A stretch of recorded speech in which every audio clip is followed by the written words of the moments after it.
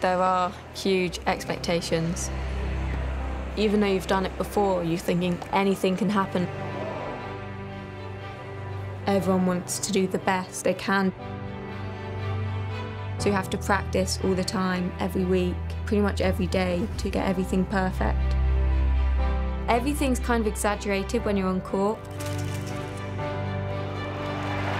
Just before they serve, the noise just drops completely.